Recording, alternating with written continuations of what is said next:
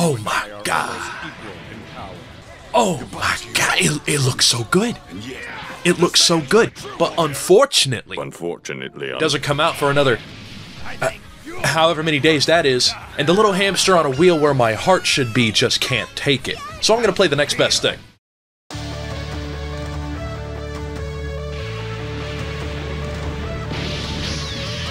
Dragon Ball Z Budokai Tenkaichi 2! Budokai Tenkaichi 2 came out way back in the ancient year of 2006. Now, I was pretty young then, but I remember it being one of the first games I got really into. I still have the same copy from back then, the uh, super rare limited release Forgot to Return to Blockbuster edition. It's probably the most valuable thing in my collection. Not to say my copies of Shrek Super Slam and the Meet the Robinsons game aren't valuable, but you know, there are hierarchies to this stuff. Let me preface this whole thing. I'm not a fighting game guy. I'm terrible at fighting games. Just ask any of my friends who actually play them.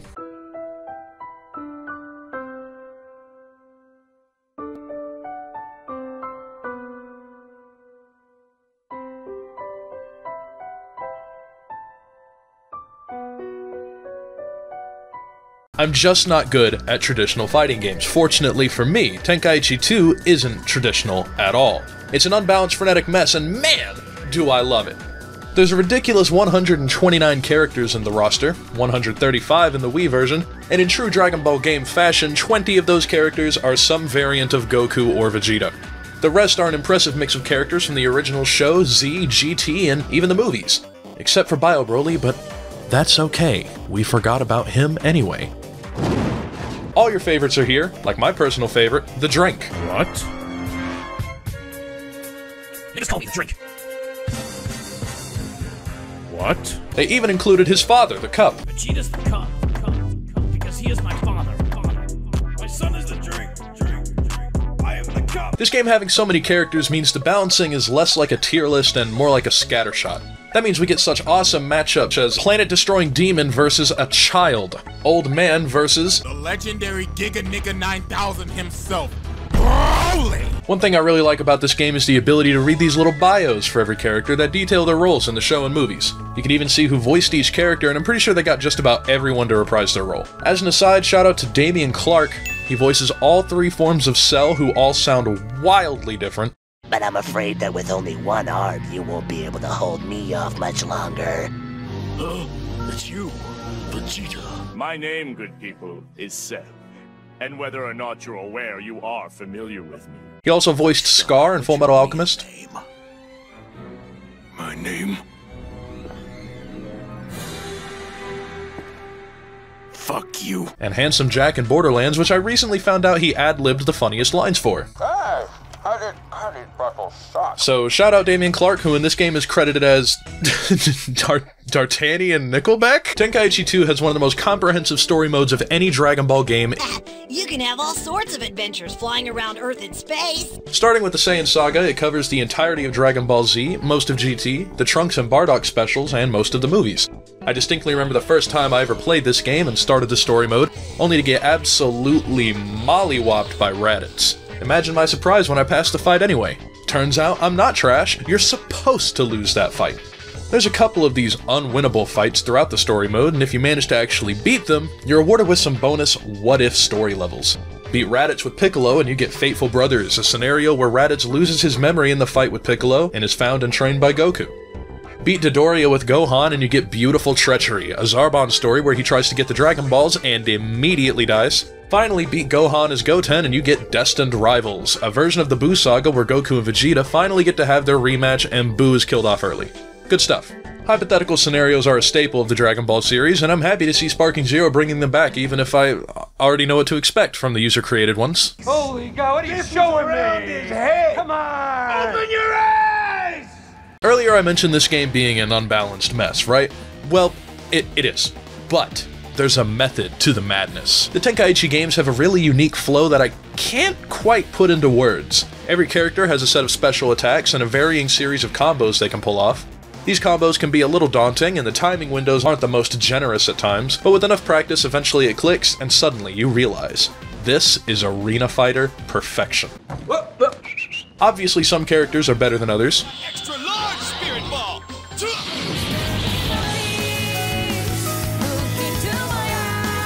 but you can make even the worst of the worst better by equipping items to them that increase their stats or give them additional abilities, so every character can be top tier in the hands of a capable player.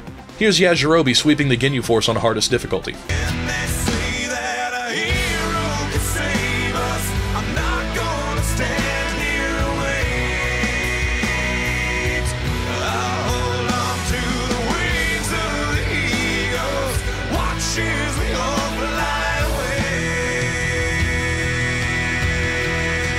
Yajirobe isn't a particularly noteworthy character outside of his Senzu ability, which fully restores his health but takes a long time to execute. With items such as Perfect Guard, which lets his guards block all damage even from blast attacks, or some stat boosters that massively increase his base health, it's possible to turn Yajirobe from a bottom tier joke character to theoretically unbeatable as long as you can keep using Senzu. This of course means you can make the already powerful characters even better, so there is still a hierarchy. To show my example, I'll need a volunteer.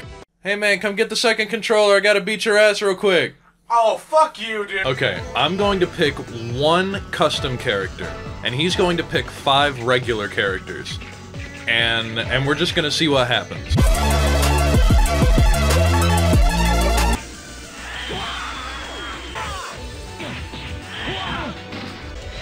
What the fuck is this? Damn it! What was that? That's my socks. Oh, he's gotta go big mode just to have a chance. Come on, Fuck go big mode. Go big mode. Do it. No, I want the cool blue hair. No, no, no, go big mode. And let me show you how it still doesn't mean anything. yeah. One. Maybe I used too much power, you think? Do you think he used too much power?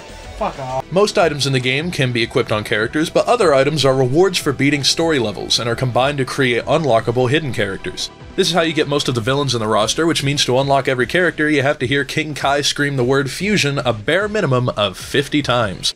It's burned into my brain. Oh yeah, it's fusion!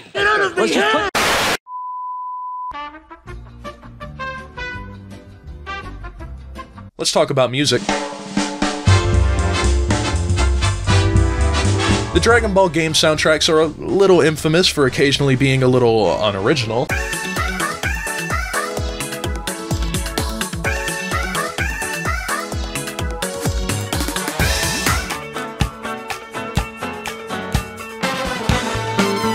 But Tenkaichi 2 almost feels like an apology for that. It's so good, this time an artist copied it instead of the other way around.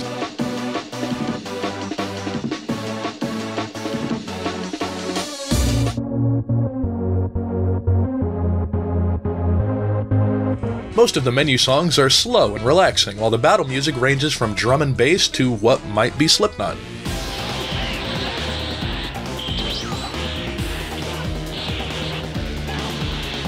Each menu has a different character and background song, which makes the songs feel like they were almost written to be that character's theme. It's more thought out than you might expect from an anime arena fighter from 2006, but Dragon Ball games have always been about the little details. One of my favorites is the unique character dialogue before matches. Most of the time, characters will say one of a short list of lines, but they'll say something unique in specific matchups. Bardock vs. Vegeta becomes class warfare. What does a low-class warrior like you want with me? Business with you? Don't make me laugh. 18 vs. Zangya turns into Jerry Springer. Your man's kinda cute. Skank. It's great. A lot of these matchups won't happen anywhere in the story mode, so the only way to hear the dialogue is to set the matches up yourself, and with so many characters, I'm willing to bet there's still dialogue I haven't found. Finally thought of the best way to describe how this game plays. It's like Tony Hawk. No, really, attacks and guards are directional, meaning you can hit upwards, downwards, to the left, to the right, and straight forward. With the right timing, this lets you chain together gut punches, leg sweeps, and dashes all into one combo. It's like maintaining your balance on a rail with your character as the center of gravity. This is now a review of Tony Hawk's Underground 2. Got my custom character here, 44 year old Mingy from the Bronx. Oh, that's a sick grind. There's a pretty popular consensus that Tenkaichi 2 has one of the best, if not the best, story mode of any Dragon Ball game. I agree, but it'd be wrong for me to not talk at least a little bit about the other game modes. All right! I'll give it my all in this ranking challenge. This is a challenge mode that has you take on gauntlets of increasingly difficult enemies for item rewards. Each gauntlet has a theme, such as giant characters, tag teams, and movie bosses. After each match, Corn gives you a grade and points based on things like the length of the combos you hit and how much health you had by the end. Been playing this game for like 15 years, and I still can't get a perfect score, you uptight bastard. Well, that'll be fine. You can fight in a tournament and earn money. Another challenge mode that has you fight through a bracket of randomly selected characters, with the stages depending on which tournament you pick. You get money for winning, but you can also play it with up to 7 other people. Neat. Now it's time to test our strength. Fight your hardest in the challenge. Trunks makes you fight either bots or your friends. The drink demands sacrifice. You can set up custom matches as 1v1s, tag matches, or free battles where you can select up to 5 characters to use. Well, until Sparking Zero comes out, I think that's it. I've set an alarm for the 10th, and now I'm going to sleep until then. Be sure to catch me at EVO this year. I couldn't afford the actual ticket, so I'm sitting outside the venue with a CRT. It's basically the same experience. Join the Picture Panic Discord server for video and stream updates and general silliness. Leave a like and consider subscribing for more videos that might be like this. Don't do either of those things if you hated this video and want me to die. Thanks for watching.